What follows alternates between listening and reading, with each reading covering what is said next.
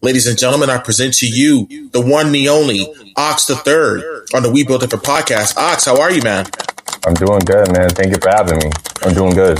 Thank you for coming on. We appreciate it. So, so we're we're you know in the second month of the year. I can't believe how fast 2023 is going. But obviously, I would be remiss to mention you know not mention about the past three years that has been crazy. You know, with COVID, the economy ups and downs, fake voter fraud claims, social justice protests. You know, you know, gas prices and the price of eggs going up and down, and you know everyone just trying to adjust to this new norm. Mm-hmm. So the first question I have for you is a two-parter. The first part is describe briefly what your life was like over the past three years, and what's the one main focus for Ox the Third in 2023.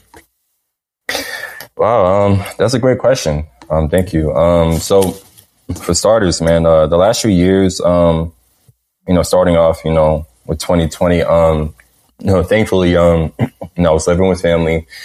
Uh, we, uh, for, we were fortunate, we were fortunate enough to say that we got through the whole pandemic. You know what I'm saying? Even with the whole, you know, the bunch of variants that came around, you know, later on, like, you know, we was able to stay healthy.